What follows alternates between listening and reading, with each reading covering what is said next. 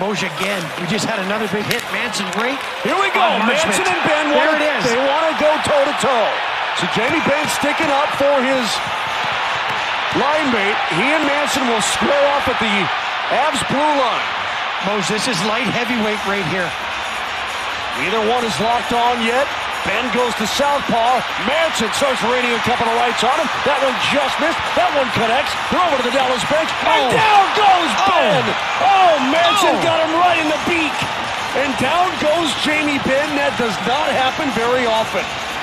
Moj, I don't think I've ever seen Jamie Benn go down. Benn's as tough as they come fighting guys like Jerome McGinley. Number 14, Dallas. Number 42, Colorado. And there's the hit on Marchment. Benn comes over. You want to dance, and this is a tremendous fight. These guys are so even keeled. Benn's about 6'2, 210. Manson's 6'3, about the same weight. And I've seen Jamie Benn get in some absolute dusters, Moj. And that was a one punch right in the schnoz by Josh Manson. Right on the button.